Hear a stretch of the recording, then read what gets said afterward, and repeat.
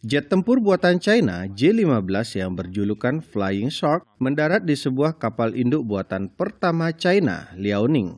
Kapal ini telah direnovasi sejak pembelian pertama di Ukraina tahun 1998. Bagi rejim komunis, kesuksesan pendaratan perdana di atas kapal induk dianggap peristiwa bersejarah. Namun menurut para pengamat membangun kekuatan militer sangat tidak berguna.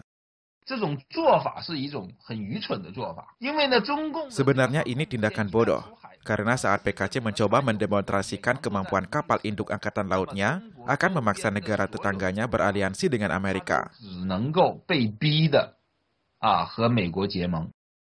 Dari laporan media CCTV, pesawat tempur ini mendarat minggu lalu, tapi tidak dijelaskan kapan tepatnya latihan militer itu berlangsung dan muncul di saat rezim China bersitegang dengan negara-negara tetangga dalam sengketa batas teritorial.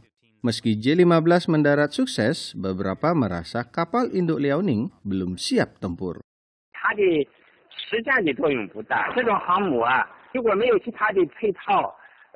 Kapal itu belum memiliki aplikasi tempur, kecuali kapal itu dilengkapi dengan lebih baik, tetap menjadi sasaran empuk, katakanlah seperti menuju Pulau Tiaoyu yang disengketakan.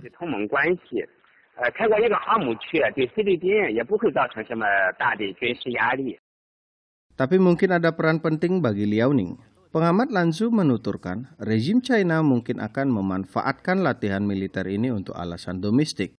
可是今天呢，北京的领导人他所面对的问题就是中国国内的社会的这个矛盾呢， 高度的尖锐化。Pemimpin Beijing sedang mengalami krisis yang mengarah konflik dalam negeri.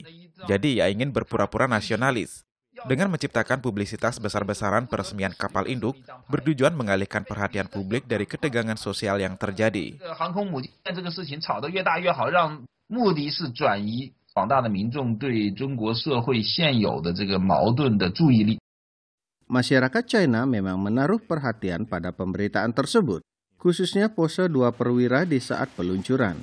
Para netizen kemudian memposting pose para peniru di internet, seperti yang terlihat di film Amerika Top Gun.